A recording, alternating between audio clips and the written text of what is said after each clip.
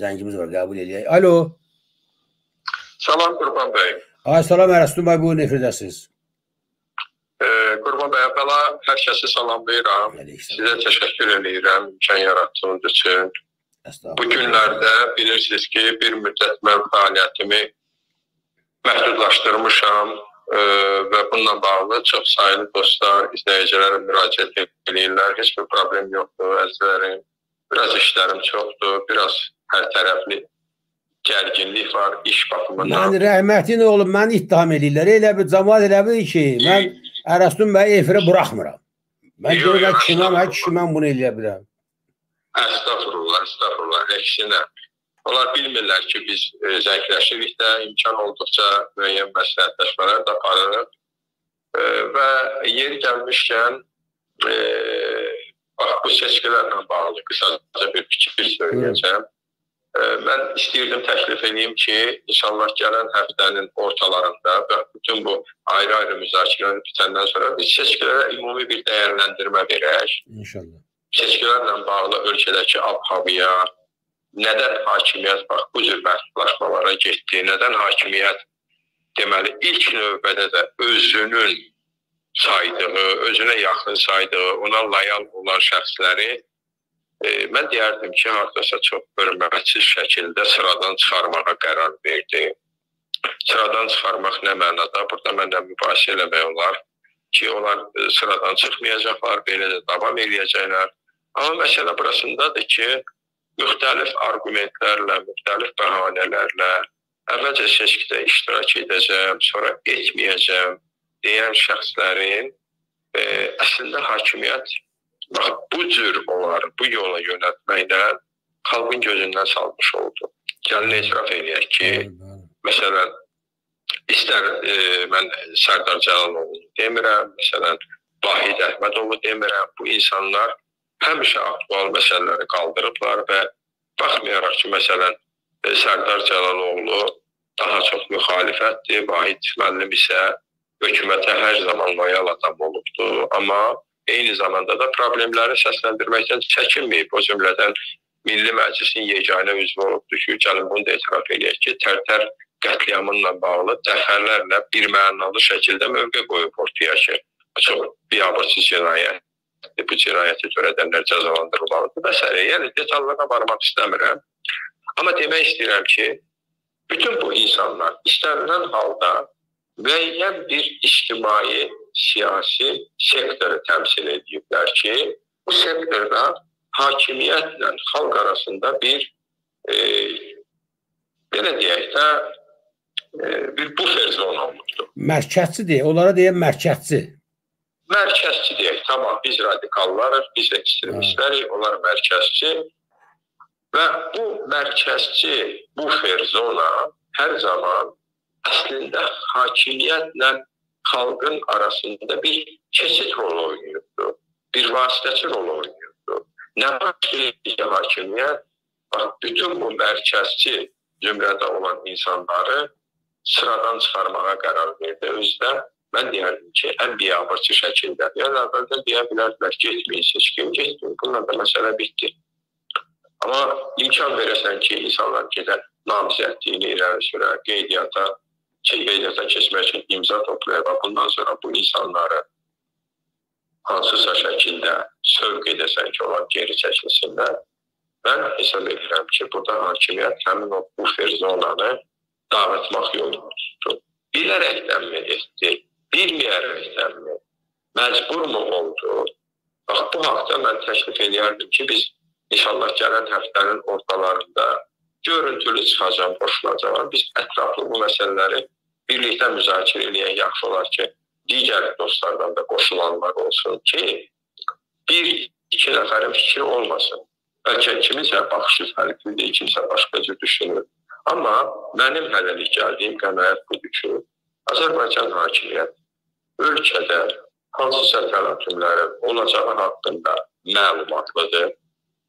Ən azı bu barədə onun müəyyən bir deyək hissiyatı var və ona görə də ölkədə hətta hakimiyyətə layal olan, hətta hakimiyyətə dəstək olan şəxslərin belə yəni onların da ilk növbədə ictimai yük daşıyan zümrəsini aktiv şəkildə sıradan çıxarmaqla məşğuldur.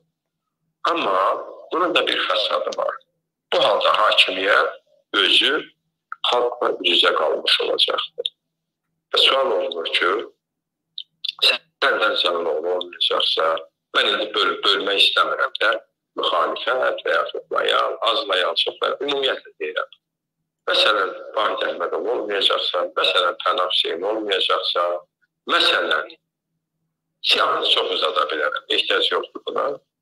Sual olunur ki, hakimiyyət bu xalqın qarşısına kimi çıxaracaqdır? Həmin o, üzr istəyirəm ifadəmə görə, gic-gic danışan cahçı deputatları, ağlına gələni sayıqlayan hansısa və həftələrlə sonra gülüş hədəfinə çevrilən köhnə deputatları və ümumiyyətlə hakimiyyət nəyə gedir? Qurban bəy, təkcə Yeni Azərbaycan Partiyasının təqdim elədiyi siyahıda 66 nəfər yeni şəxs var. 66 nəfər. İndiyəcən Milli Məclisdə təmsil olunmamış. Hakimiyyət nəyə gedir?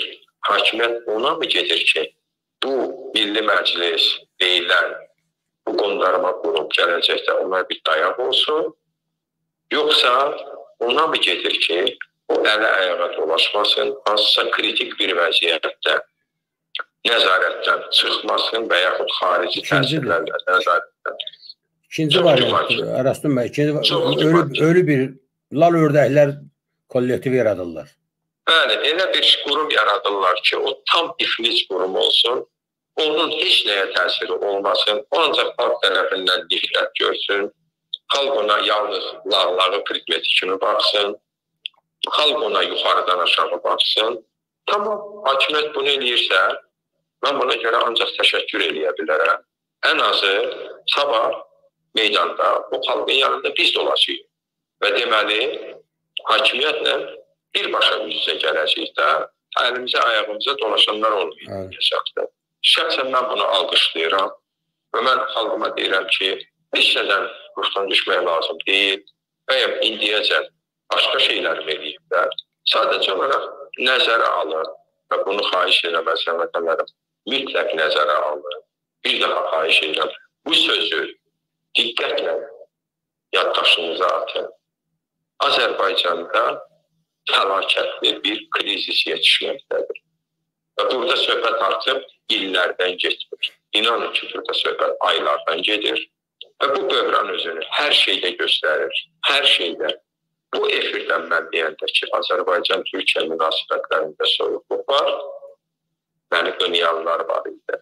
Həmin o, nə bilim, Turan ideyasından, Türk Dövlətləri Birliyi ideyasından təbliğata məruz qalmış, beyni doldurulmuş. Bilirsiniz, əzizlərim, bizim üçün bu şeylər dəyərli. Onu istismar edənlər üçün bu təbliğat alətidir. Baxın nə baş verdi.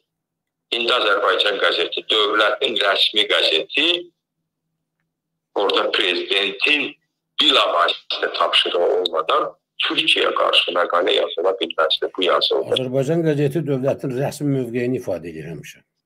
Bəli, özdə redaksiya məqaləsi. Yəni ki, bir müəllifin adından yox, birbaşa qəzetin adından. Və biz bu gün bunun fəsadlarını görürük. Azərbaycan dövləti, yəni o dövləti təmsil edən rəhbərlik başda İlham Əliyev olmaqla Rusiya söz vermişdi, Zəngəzur dəhlizini açacaq, aça bilmir. Türkiyə söz vermişdi ki, Türkiyə ilə hərbi, iqtisadi, siyasi əlaqələri məhz Şuşa bəyannaməsi çərçivəsində dərinləşdirəcək, onu edə bilmir. İrana söz verirdi ki, ona söz verildi ki, müqavilə imzalayırdı ki, Azərbaycan ərazisində İrana təhdid olmayacaq. Azərbaycan İsrail casuslarından doludur. Yəni İranın özü də yer gəlmişdən hadisələr göstərdi. Rəstum bəy, mən üzr istəyirəm, yəqin bilmirəm, baxmısınız yoxsa yox, o şey o nədir oğlan adı? Raman Çipin var ha. O dayanmadan təbliğat aparır ki, e, güya İsmail Hanini Hanini şey vurub. Azərbaycan ərazisindən atlar raketlə vurublar. İstəyirlər ki, e, bu dəqiqə terrorist İsrailin bizdə məqsədi var. Azərbaycanı İran və Türkiyə ilə düşmən edib təhləsin. Parçalasın. Təbii, təbii, təbii və bu gün də İlham Əliyev hökuməti özü müharibədə olan raket hücumundan müdafiə sistemlərinə kəskin ehtiyacı olanda olacaq İsraildən yenə hava hücumuna, raket hücumundan müdafiə sistemləri alır. Alırmı bilmirəm, yoxsa pul mu ödəyir, onu da bilmirəm. Yəni, bütün bunun qarşılığında Rusiya Azərbaycan hökumətinə qəzəbli, Türkiyə qəzəbli, ABŞ qəzəbli, Avropa qəzəbli, İran qəzəbli və Azərbaycan xalqı ən başlıcası öz yaşayışına, ona tutulan divana, ona qarşı olan haqsızlığa görə hakimiyyətə qəzəbli. Belə bir şəraitdə əlbəttə ki, İlham Əliyevə ölü parlament lazımdır. Ölü. O parlament ki, seçiləcək bundan sonra, onun fatihəsini elə bax, bugün vermək olar efirdən. O ölü parlament olacaqdır. Hələlik bu qədər. Bir daha hər kəsi salamlayıram. Amma bu deməkdir ki, seçkilərə getmək lazım deyil. Bir daha çalışayım. Gedin, etiraz edin. O bülletenləri cırın gözlərinin qabağında tullayın. Nə istəyirsiniz eləyin, amma gedin. Yəni. Qorxmayın. 5 nəfəri tuta bilərlər, 10 nəfəri tuta bilərlər. 5 minə, 10 minə yaxın düşə bilməzlər. 50 mini görəndə qaçıb gedəcəklər. Təbii ki, qaça bilsələr. Bir daha təşəkkür edirəm hər kəsə. İnşallah bu mövzuya qayıdıb bir ətraflı, geniş müzakirə edərik. İnşallah. Təşəkkürlər, çox sağ olun. Mən Azər Firdim ailəsi adından Ərəstun bəyə təşəkkür edirəm. Bu da söhbət pəncərəsiz o maraqlı fikirlər yazırsınız dostlar. Mən hər birinizə o fikirlərinizə görə təşəkkür edirəm. Çox sağ olun.